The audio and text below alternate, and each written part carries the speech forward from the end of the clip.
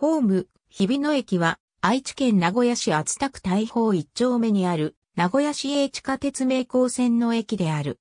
駅番号は E02。アクセントカラーは赤色。近隣の地名表記は日比野だが、駅名にある日比野の表記も、交差点名や学校名、店名などに広く用いられている。マニカの利用履歴では、当駅は七日日と表示され、愛妻市にある名鉄微細線の日比野駅と区別している。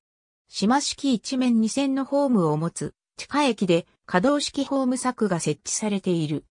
当駅は金山から方面別に掘られた単線のトンネルが合流する地点に位置し、駅構内でもなお両者の線路が接近しつつあるため、写真のように金山方に向かってホームの幅が広くなる格好になっている。ホームのベンチは写真にあるように金属製パイプを柱の周りに巻く形の珍しいものである。2011年3月27日より駅業務は日本通運に委託されている。当駅は名城線南部駅、務区金山管区駅が管轄している。構内の駅名表には近隣施設である中央路修理市場が併記されている。いずれの事業者もバス停の名称は日々のである。名港線の駅では金山駅に次いで利用客が多い。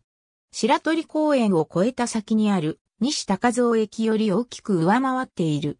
名古屋市統計年間によると、当駅の1日平均乗車人員は以下の通り推移している。ありがとうございます。